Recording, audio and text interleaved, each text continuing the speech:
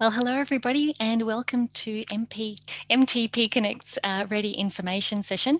We'll be kicking off in about three minutes time. So thanks for joining us nice and early. Uh, so feel free to go and grab a tea or a coffee or whatever takes your fancy at 2 p.m. in the afternoon. And uh, we will be, uh, we'll see you again shortly. Thanks so much.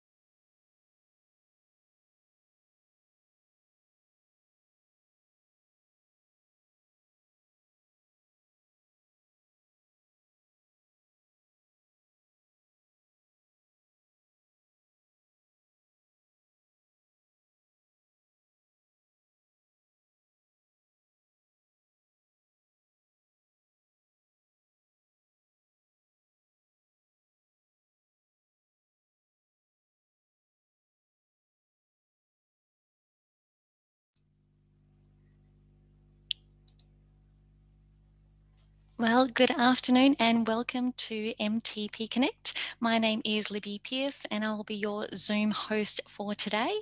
And I will now be handing over to the fabulous Jared Belcher to introduce the session and facilitate. So Jared, over to you. Thank you.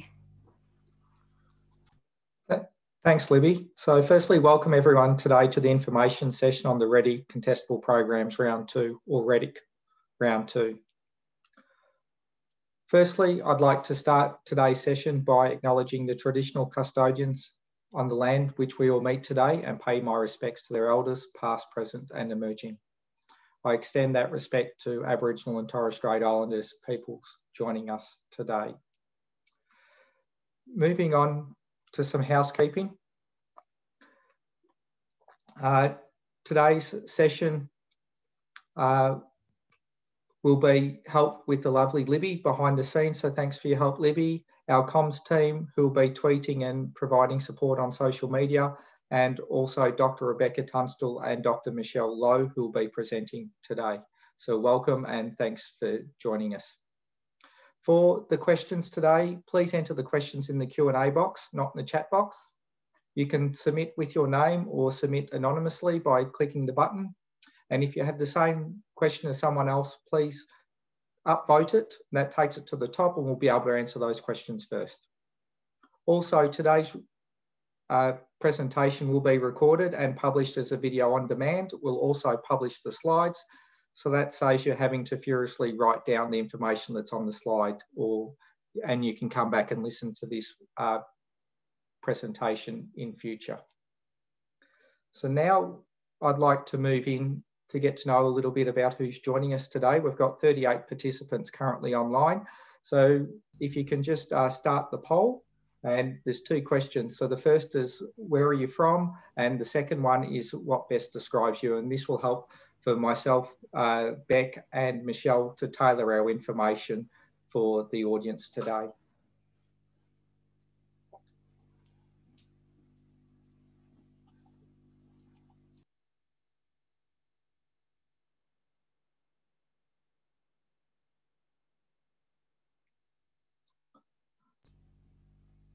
Another five or 10 seconds. Yeah, well, they're coming through thick and fast. So thanks everyone. And just a reminder just to hit that submit button when you are ready. So I think we've captured everyone. So I'll just end the polling there and I'll just display those results for you. Okay, okay so there you go. Thanks for that. So we've uh, got one international person joining us today and a good spread from around Australia except for Tasmania and the ACT. So hopefully we can improve on that next time. And a range of different people here today. So thanks, thanks for that. So today's agenda, Dr. Rebecca Tunstall will give an overview on REDI and then I'll go through the skills gap analysis and reports and about the RFP. Dr. Michelle Lowe will uh, give an overview on the eligibility and then uh, I'll go through the selection criteria. And we'll end today's with a question and answer session. So if you can please hold your questions to the end, we'll let you know the previous REDI presentations and information sessions, we've answered all the questions and we intend to do that today, which and the question and answer session, Michelle and I will be responding there. So now I'd like to pass across to Dr. Rebecca Tunstall. So Dr. Rebecca Tunstall is the Senior Director of Stakeholder Engagement at MTP Connect and also co-chair of the REDI Steering Committee. Rebecca has 13 years experience working for GSK in uh, clinical research and medical affairs um, and particularly focusing on oncology. So I'd like to hand across to you, Beck. Thanks so much, Jared, and it's great to be here and hello everyone. So just for those who are not as familiar with MTP Connect, we were formed in 2015 as part of the federal government's Department of Industry, Science, Energy and Resources Industry Growth Centre initiative. We're one of six industry growth centres and we champion a sector-led approach to accelerating um, and boosting the rate of growth of Australia's medical technologies, biotechnologies and pharmaceutical ecosystems. We bring together all participants in the sector, whether they be small or large companies, researchers, industry associations, different levels of government, universities, investors, and regulators to focus on four priority outcomes. And they are to increase collaboration and commercialisation across the sector, improve management and workforce skills, which is particularly relevant to today's session. We also work to optimise the regulatory environment and improve access to global supply chains and international markets. And we do this in three ways. So we firstly through delivering strategic funding through our Commonwealth programs. Secondly, we act as an independent voice because we're a not-for-profit independent organisation with no membership. We're seen as a trusted voice in the sector and for advising government on policy or regulations which may be barriers to growing the sector. And we also take direct action. So we deliver education events and support programs to build commercialisation expertise and promote further collaboration um, and commercialisation outcomes. So next slide, thank you. So I mentioned um, strategic funding um, that MTP Connect deploys into the sector. So we operate five distinct business units, one through the Department of Industry, Science, Energy and Resources, um, and four on behalf of the Department of Health and the Medical Research Future Fund. So overall, we're through these strategic initiatives, we're deploying more than $160 million of DISER and MRFF funding into the sector. So we've got the first program on the left, which is the Department of Industry, Science, Energy and Resources Growth Centre Initiative, where we've deployed $15.6 million um, to support 40 projects, and that's fully committed. We've also got the Biomed Tech Horizons program, which is an initiative to support innovative, innovative health technologies and drive discoveries towards proof of concept or beyond through to commercialisation. Now, this is largely deployed. We will be having a very small round, um, which will be coming out in the next few weeks. So um, take a look at that when that information comes out as well. We've also got the Biomedical Translation Bridge Program, which is nurturing the translation of new therapies, technologies, and medical devices through to proof of concept stage. And that's got industry support as well. We've also got the REDI program, which we'll be talking about today, and the Targeted Translation Research Accelerator program, which is a $47 million program um, for diabetes and cardiovascular disease, where we're supporting the establishment of two research centres, one for diabetes and one for cardiovascular disease, as well as supporting um, research projects through rounds of contestable funding as well. So just next slide, thank you. So in terms of the REDI program, um, the REDI initiative leverages the expertise of our research, training and industry partners to drive skills development and workforce training uh, through deployment of an integrated three pillar plan, as you can see from this slide. So it's funded through the Australian Government's Medical Research Future Fund and uh, began rolling out last year in 2020, and it's a four year program. So as you can see from this slide, um, there's three pillars. The first one is around expansion of proven programs, and we've got existing partners on board. And this is really to address some of the already known gaps in the sector. We've also got pillar two, which we'll be talking about a bit more today, where we've undertaken a comprehensive skills gap analysis. And from there, uh, we're calling for new programs to address those skills gaps. Um, and then we've got the pillar three, which is industry placements, internships, and fellowships. And so that's got the APR intern program as well as Bridge and Bridge Tech programs, but it's certainly got the REDI Fellowship program, which has been the subject of other information sessions. So please do um, take a look at that as well. Um, in, oh, so Jared will actually talk about Pillar 2 um, a bit more um, for this session. Thanks, Jared. So in terms of the key focus of REDI, the objectives are to provide researchers with a diverse range of experiences and exposure to entrepreneurism in medical technologies, biotechnology and pharmaceutical sectors. Um, it's also to develop meaningful and sustainable partnerships with MTP companies, universities, registered training and government entities that will form the foundation for delivery of a variety of joint training, placement exchange, and mentorship opportunities. Now, the outcomes of the REDI Contestable program um, are aimed at strengthening Australia's success in terms of translation and commercialisation um, of health and medical research and expanding the capacity and capability of the research community to undertake translation of health and medical research across the value chain. Now, when we talk about the value chain, um, it's been recently highlighted in the modern manufacturing strategy SMILE curve, and this includes pre-production activities um, such as research and development and clinical development, um, production and manufacturing, logistics and distribution, um, and product marketing, promotion and sales elements as well. So it's really looking at the pre-production, production and post-production activities. And the REDI initiative is focusing on developing an industry MTP workforce across that value chain. So pre-production, production and post-production phases of the advanced manufacturing cycle. And that certainly needs to be underpinned through understanding the skills and workforce gaps, workforce gaps um, to be able to address that as well and support the sector. So with that, I'll pass on to Jared to speak more about the skills gap analysis and this request for proposals. Thanks, Jared. Thanks, Beck. So I'll just share my screen. Great. We'll just get you to reverse that. Thanks. Pop that into presentation mode. Yep. Thanks, Jared. So the correct one now? Or that is perfect. Thank you. Okay, great. Thanks, Libby. I always have trouble with that. thanks. So, so, thanks. So we're focusing on the round two call for proposals. So REDI 2.0.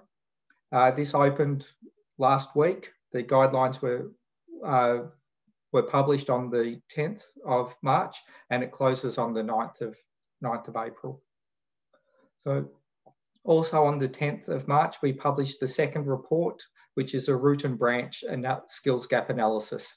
So we published an interim report on skills gaps in November and then held REDIC 1.0. The second report has guided or driven the release of REDIC 2.0 There will be further opportunities for REDIC as we go through and understand more about the skills gaps now that we have the full report released. And we're looking for more and more partners. So we're looking to fill up all those question marks on the diagram on the right-hand side of, of the page. So there will be more opportunities for people focusing on other skills gaps that have been found in, in the second report. So for the skills gap analysis, we're the request for proposals. There are guidelines. Today, we're not trying to regurgitate the guidelines. The expectation is that you can read them. It's about adding colour to the guidelines and providing some meaningful feedback that you can use when you're developing your high quality proposals. So REDIC 2.0, we encourage uh, eligible companies to, to apply for this, and this is universities, TAFEs, RTOs, industry associations, uh, companies that have a training focus, companies, MTP companies that have a specialist skills in this area and can deliver worthwhile training. We're looking for those companies to submit um, and to lead proposals for, for this. And we're looking to fill two skills gaps or close two skills gaps through this RFP process. The first is identifying the unmet market need in clinical context. And the second is the ability to secure investment, funding, and industry collaboration. So I'd like to provide a little bit of background on the two areas that we're looking to, to close the gap. For the identifying the unmet market need and clinical context, this is a two-day short course to be delivered nationally around Australia in multiple states. Uh, the course is for researchers, startups and spin-offs. And the feedback we got when we were developing the skills gap analysis was that some of the products that have been developed don't have a real clinical need or they integrate unevenly with the clinical workflow. It makes them difficult for the commercialization to happen. There's also a misalignment of, of products with the end users. So we want the researchers, the startup spin-ups, talking to the end user earlier in, in the development process, but also assessing the true scale of the market. It's no good saying, oh, this is this will uh, help obesity and obesity is worth X billion dollars to the Australian economy each year. It needs to be meaningful um, assessment of the true market of what your approach can actually improve. And this, our main focus is again, success in commercialization and then earlier improving human health outcomes because we're able to get products to market in a more streamlined way, a better utilization of resources, and then they have the ability to impact the market. For this course, uh, all modalities, so digital, medical devices and therapeutics all need to be included in the same, in this one course. There's not different courses for each of the three different modalities. It needs to be in a single course. The second area we're going to focus on is the ability to secure investment, funding and industry collaboration, or specifically delivering on your funding strategy. So this course is a one day course, again, delivered nationally, so delivered in each state. And it's really about targeting your ask for different audiences, tailoring your pitch. So understanding the motivations of investors uh, and adapting your communication style. So we really want to see a deep dive into the motivations and really see practical strategies and examples that the uh, participants and the students will work through on the day. And this has, a, again, very, very much this is at the earliest stage of commercialisation. And the reason that this is such a, a big issue is the mix, misdirection of time and resource. And also it's slowing down getting products to market and impacting the human health outcomes. So they're the two areas that we're seeking in this round. And now I'd like to hand across to Dr. Michelle Lowe to talk about the timeline of the of REDIC 2.0 and also the eligibility for this program. Across to you, Michelle. Great, thank you, Jared. And hello, everyone. Uh, I'll be speaking on the schedules uh, today. And what Jared mentioned earlier is that it opened last week, Wednesday, and we invite applicants to submit their proposals on Smarty Grants by the 9th of April, 5 p.m. Australian Eastern Standard Time. And for those of you who are in Western Australia, that will be 3 p.m. Assessments will occur in April and May and will be notifying the successful and unsuccessful applicants in May. With these successful applicants, um, will, as Jared mentioned, uh, they'll deliver the courses nationwide um, and they will be expected to roll out by December 31st, uh, 2021. Uh, reporting will be required throughout the year and there will be a final report required in January 2022. Uh, for the guidelines, they give most of the information, so you can please refer to the guidelines. Uh, so this section, I'll just speak to three key topics. Uh, first being the applicant. The lead applicant uh, will be the one that will be the contracting entity with MTP Connect, and they should have an ABN, and we welcome partnerships. Uh, for costs, uh, last time for REDI 1.0, we actually didn't give a price cap, but we are now providing a price cap in the uh, REDI 2.0. Please refer to the guidelines for the price cap for the two courses that Jared did uh, mention earlier on. And you'll see in the guidelines that there are a minimum amount of participants, about 10 for each course, but in the guidelines, there are different maximum amounts of participants. And so when you are proposing your course, uh, please propose the best value uh, for your course based and the maximum price that is the price cap that's based on the maximum amount of participants. So we're looking for the best value course on that price. And so you'd need to put your course um, finances on that into the financial template, which is provided with our documents on the website. Please submit um, your proposals on Smarty Grants. And uh, Grants, you can register and there are help files available. Jared and I are on hand to help and guide you um, on the day of applications. Uh, please don't leave it for the last 10 minutes because that might be a bit tricky, but we'll be able to help you uh, beforehand. Uh, when you submit, you'd need to submit two documents. The first being the technical proposal, and that will consist of the main body of the report, which is limited to 20 pages, and which also will have the provider fact sheet, which is a template also found on our website. Uh, together, your technical proposal will also have appendices attached to it, and that will be submitted as one document. Your financial proposal is also submitted, and there you'd stick to using the financial template I mentioned earlier. Uh, so when generating your proposal, uh, Jared will now give you some tips on what our assessors are looking for in terms of the selection criteria. So over to you, Jared.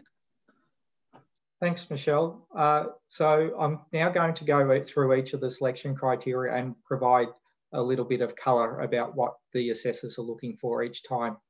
It's, it is in the guidelines and uh, my intention is not to repeat what's in the guidelines, it's to actually give you feedback based on the initial round of REDIC 1.0. So the first is the understanding and experience.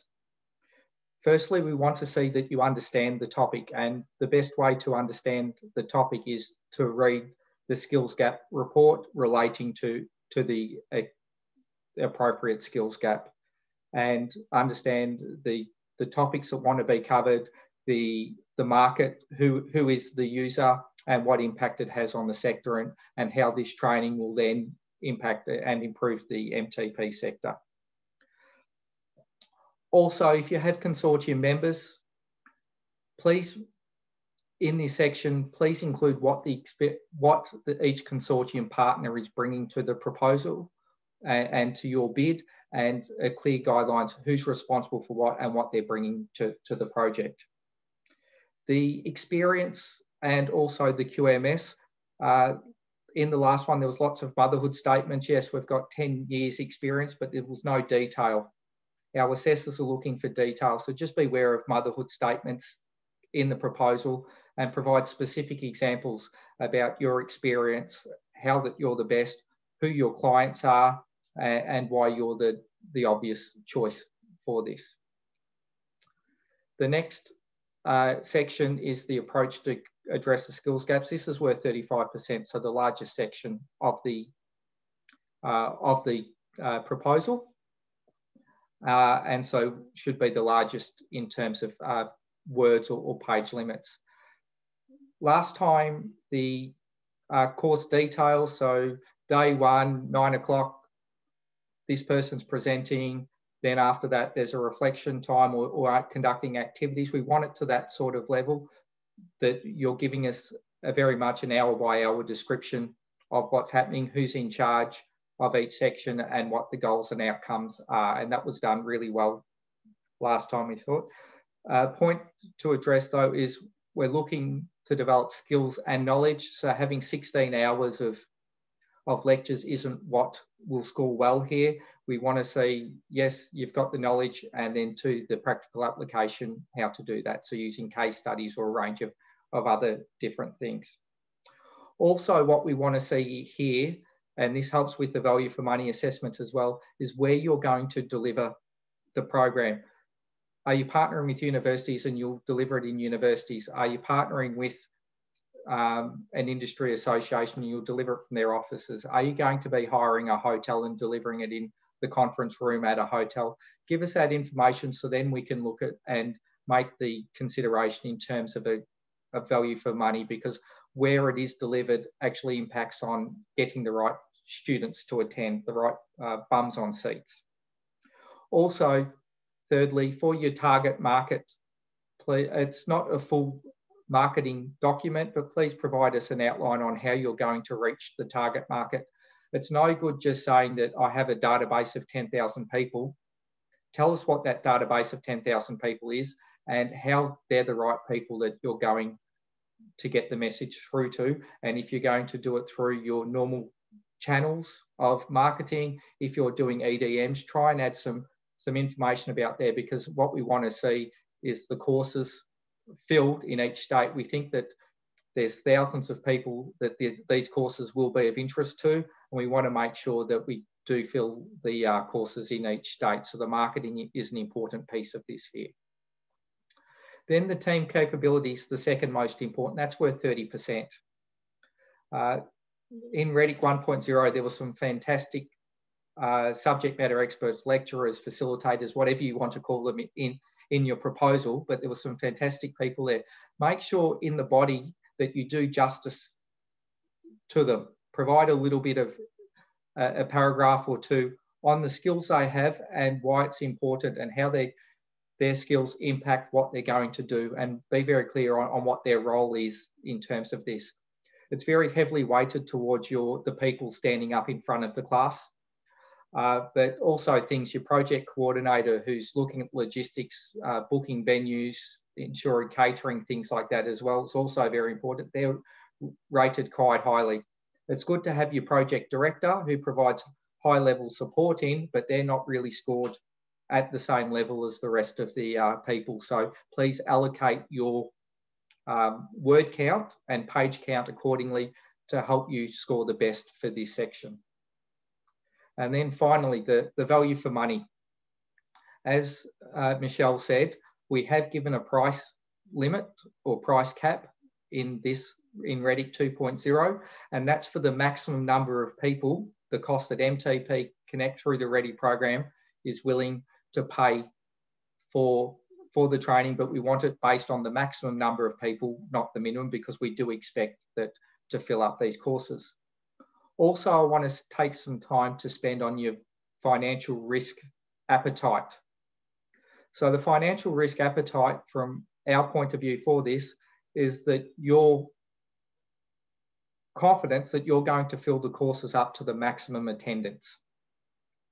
So if you have, and when you're submitting your financial proposal, you do it in two pots. One is essentially the cost for the first 10 people, which is a fixed amount and then a cost per, per person on top of that for extra people up until the maximum number. If you have a very high cost per person for the first 10 and a low cost per person for the re remainders, you're not incentivized or encouraged to really fill up the courses to the maximum number. And it's also saying to the assessors that you're not confident that will occur.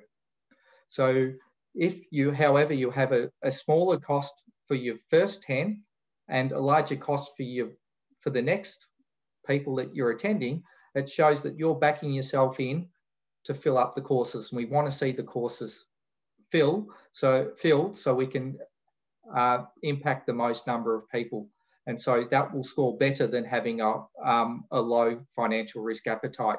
So that's what we mean by financial risk appetite. And when you're looking at your financial proposal, please keep this in mind and use this as a chance to show the assessors that you're confident that you're going to be able to fill up the course. So I'd like to hand back to Michelle Loeb, please. Great, thanks Jared for giving some tips.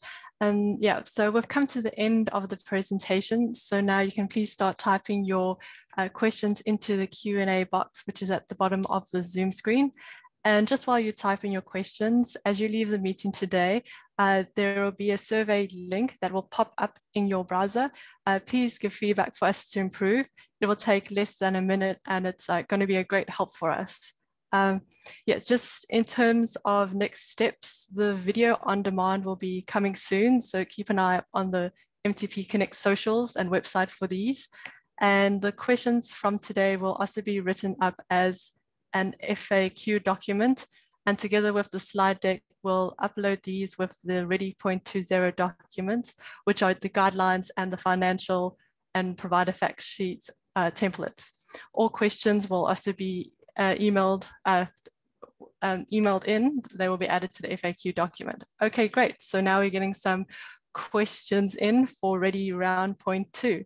Here we go. Uh, will the two streams being evaluated independently like the last round? Uh, Jared? Yes. Oh, you're on mute. Sorry, I'll just unmute myself. Thanks. Uh, good question. Yes.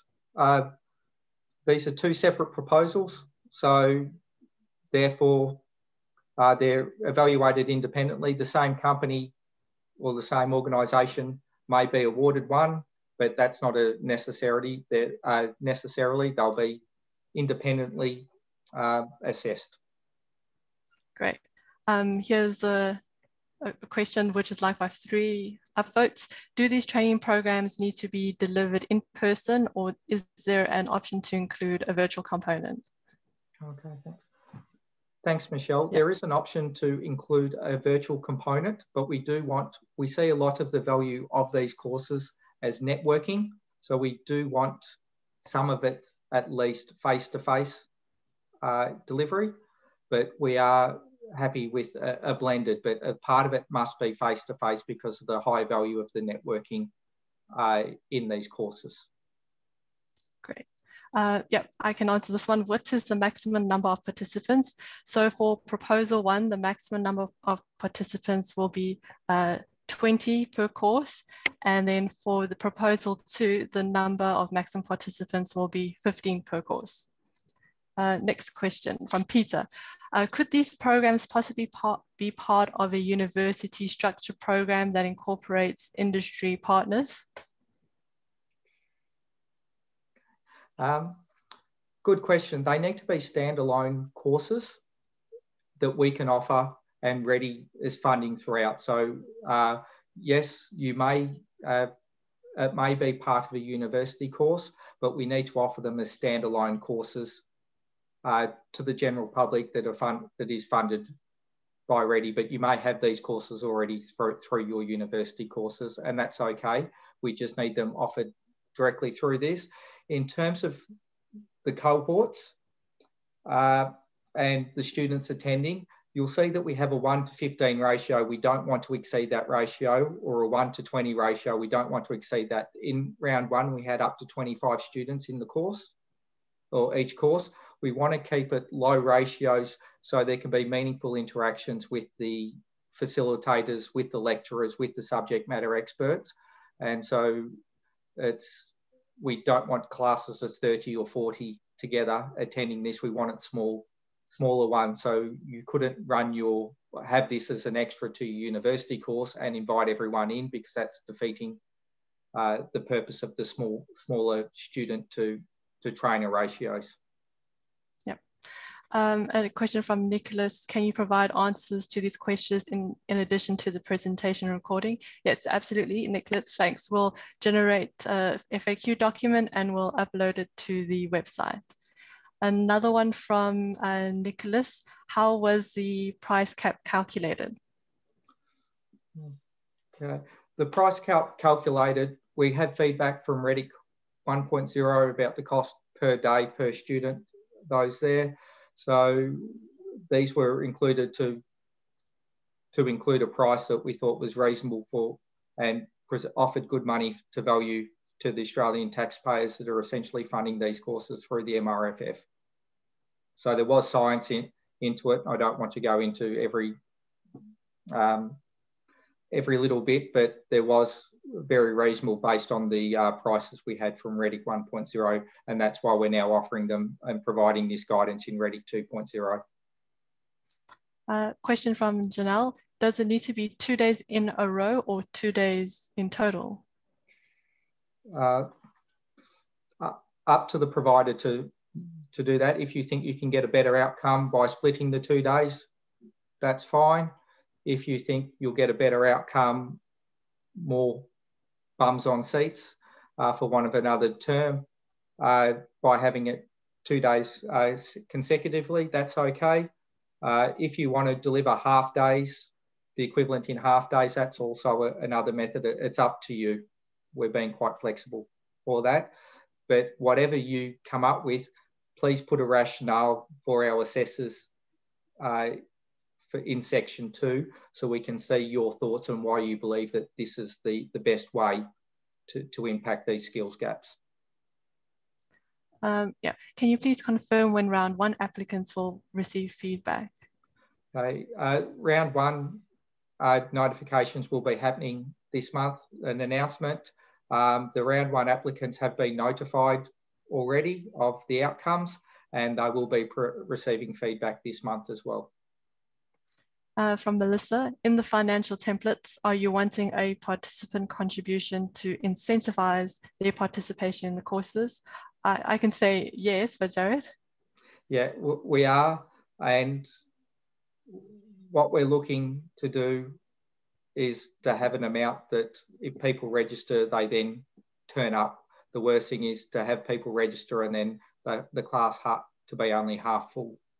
So yes, we do want a participant uh, co-contribution, and we want you to advise us on what you believe that should be.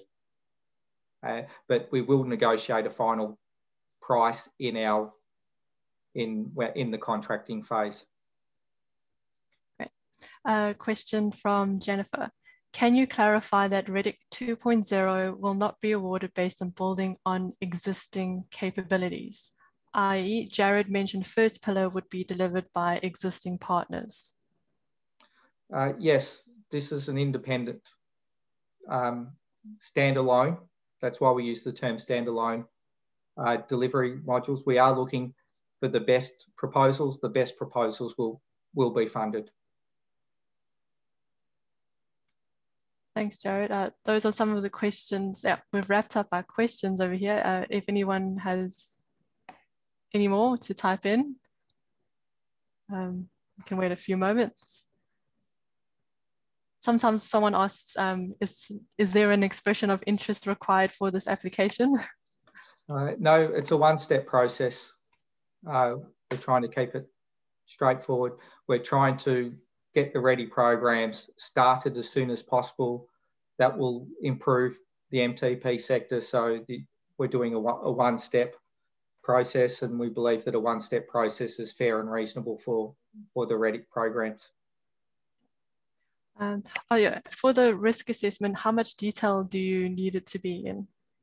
The risk assessment is really a price. So it's the value, the numbers you put down into the financial proposal. We will then do the appropriate calculations. But the uh, we, we, do want to see a, uh, you encouraging yourselves, motivating yourselves to, to fill the courses. Uh, and that's through that those numbers that you put put down there. Right. So it seems to be no more uh, questions coming in. Uh, yeah. I think you've been very thorough over there. okay, great. So, well then, um, thank you to our guests. Oh, well, one more, one more questions. Here we go. Uh, thank you, Peter. Would the courses generate a certificate or credential? If you have that and that's part of your value proposition, yes. But to make this program open to uh, different providers, uh, and to make sure we have the uh, most applicable courses and the best courses run. We're not making it mandatory, but if you have that as part of your value proposition and people can walk away with a credential or a micro credential, then uh, that will be favourably reviewed by the assessment panel. But we're not, it's definitely not 100% required. All right. Thanks. Thanks. Great session from Peter. Thanks, Peter. right. So if that's it all for today, I'd like to thank uh, the guests for taking their time out to join us um, and hear about REDIC 2.0. And would also like to thank uh, Dr. Rebecca Tunstall for giving her insight into REDI and MTP Connect, and also for Libby um, for background ops and for Jared to giving background on REDI. I'd also like to thank the comms teams for tweeting away, Caro and Shannon. Um, yeah, so again, the next steps, the video on demand will be coming soon, so keep an eye on the MTP Connect socials and website for these.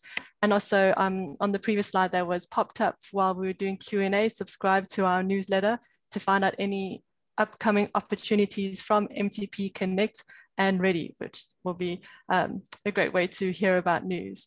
Thanks again for everyone for joining us and uh, please complete the feedback form as you leave the session and it only takes one minute to complete and this will help us to plan for future events. Uh, that's it for today. Jared and I are always on hand to answer your questions through the email listed on the slide. Thanks. Wonderful. Thanks, Michelle, Jared, and Rebecca. Thanks to all of you for joining us today, and we hope to connect with you again soon. Bye for now. Bye. Bye. Bye.